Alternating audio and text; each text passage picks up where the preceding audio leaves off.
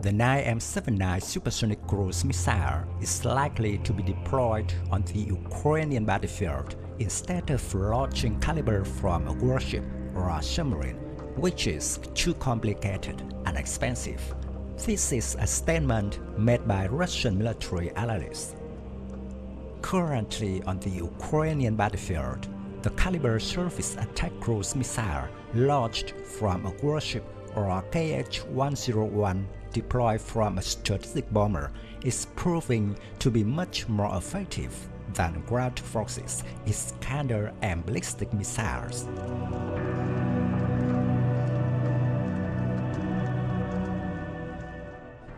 Due to their high frequency of use, the Russian cruise missile arsenal is running out.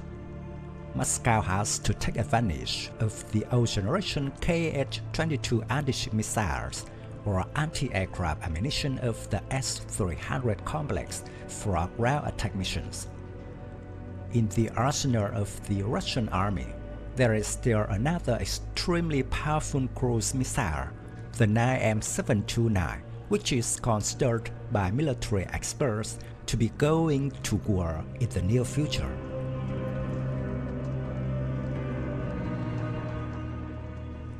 The platform's capabilities remain something of a mystery and have thus been cause for much speculation. The 9M729 was developed to be deployed from the Iskander K weapons platforms, a variant of the Iskander system developed to launch cruise missiles, while the better-known Iskander M deploys ballistic munitions.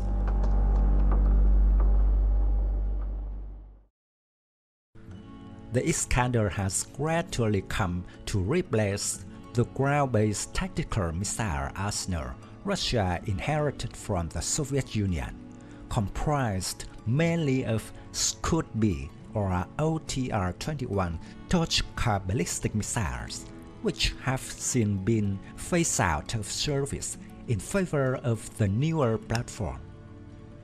While the Iskander M has long been held as a major threat to the Western Bloc's assets in the event of a potential war and has been deployed to the Crimean Peninsula in growing numbers in light of escalating tensions there. The Iskander K is increasingly emerging as a leading threat in the eyes of NATO's military leadership in light of its cutting-edge capabilities namely the speculated capabilities of the 9M729.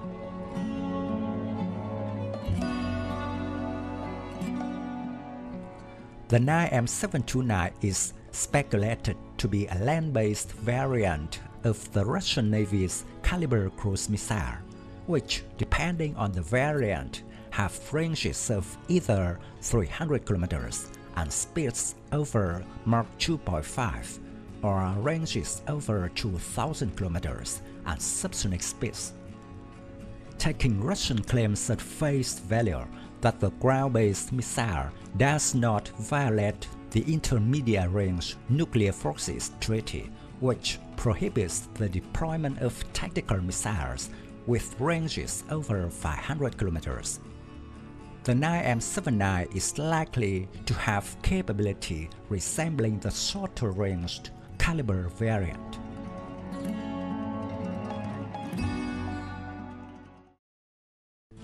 This gives the missile a high supersonic speed and high maneuverability, capable of penetrating enemy air defenses, and a high level of precision, allowing it to strike targets near the limits of its range within 3 meters and with a warhead of up to 500 kilograms.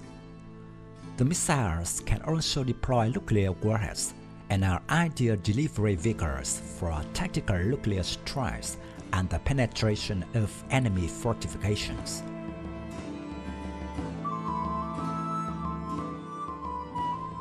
The 9M729 is equipped with an inertial-based navigation and control mechanism with a Doppler sensor that adjusts the angle of attack according to the Russian-developed GLONASS satellite navigation system.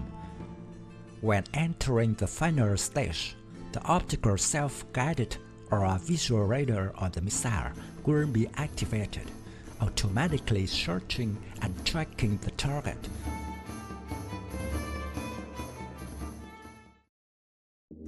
According to the US accusations at the time of 2018, Russia secretly put the first 9 M729 medium-range cruise missiles complexes on combat duty.